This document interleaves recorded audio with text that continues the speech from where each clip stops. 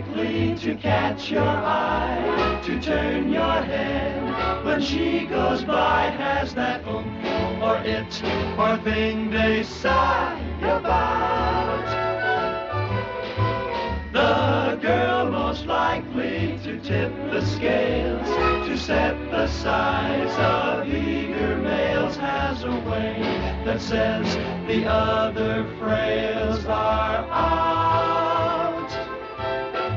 She's looking for a pink cloud and a kiss can be the key.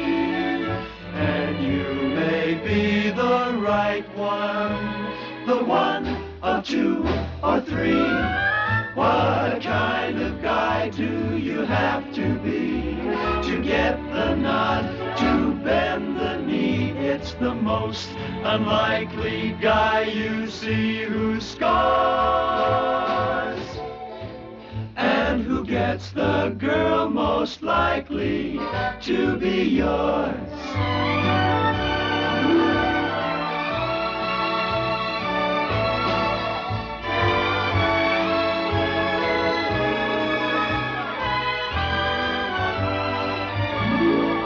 What kind of guy do you have to be to get the nod, to bend the knee? It's the most unlikely guy you see who scores.